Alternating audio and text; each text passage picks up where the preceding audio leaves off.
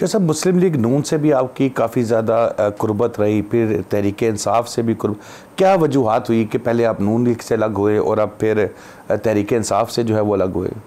बस यही बात है कि एक सोच लेके, एक ख्वाहिश लेके मैं पाकिस्तान आया था, लेकिन वो जो मैं चाहता था वो नहीं पूरा हुआ, और फिर बड़ी होप दी का ख्याल था कि हम नया पाकिस्तान बनाएँगे हम दो नहीं एक पाकिस्तान होगा अदल इंसाफ का निज़ाम पैदा होगा एक करोड़ जो है वो जो है वो नौकरियाँ देंगे पचास लेंगे। कर देंगे हम जो है साउथ पंजाब को सूबा बनाएँगे हम पुलिस रिफॉर्म लेके आएँगे जुडिशरी रिफॉर्म लेके आएँगे। लेकिन बदकिस्मती से वो तो जो थी वो पूरी नहीं हुई। और मेरा सबसे बड़ा जो दो इशू थे मेरे तहरीक इंसाफ के साथ। एक तो ये इशू था कि फ़र्द वाहिद जो है, वो उसको फ़ैसले नहीं करने चाहिए। फ़ैसले मुशावरत से होने चाहिए। और मेरा ख्याल है कि आज जो मेरे पुराने कलीग हैं तहरीक इंसाफ के इस बात को तस्लीम करेंगे कि अगर ये फ़र्द वाहिद के फ़ैसले ना होते तो आज तहरीक इंसाफ इस मुश्किल वक्त में ना होती।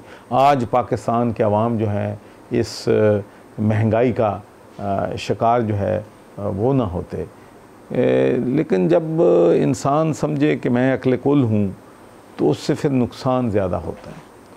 आप देख लें कि मेरे ख्याल में कोई बंदा जो था पीटीआई का, चाहे वो वाशिंगटन में बैठा है, चाहे वो टोरंटो में बैठा है, चाहे वो रियाद में बैठा है, कोई एक शख्स भी मुझे नहीं मिला कम अज़ कम अपने साढ़े तीन साल की गवर्नरशिप के दौरान, जिन्होंने बुजदार की सिलेक्शन पे अपने रिजर्वेशन जो है वो ना दिखाई ये तो आप पूरे पंजाब तो, में पूरे लाहौर में कहीं भी किसी भी शख्स को रोके पूछते स्वाय बुजदार साहब के तो आपको यही जवाब देता तो उनकी सारी खूबियाँ सिर्फ़ पार्टी लीडर को नज़र आती थी और किसी को नहीं आती थी। और वो वो वो जो हटदर्मी थी फिर उसके बाद जो डीजीआई की सिलेक्शन थी या उसकी पोस्टिंग थी तो उस पर मैं नहीं समझता कि अननेसेसरी हमें इस्टबलिशमेंट से बगाड़नी जो है वो चाहिए थी।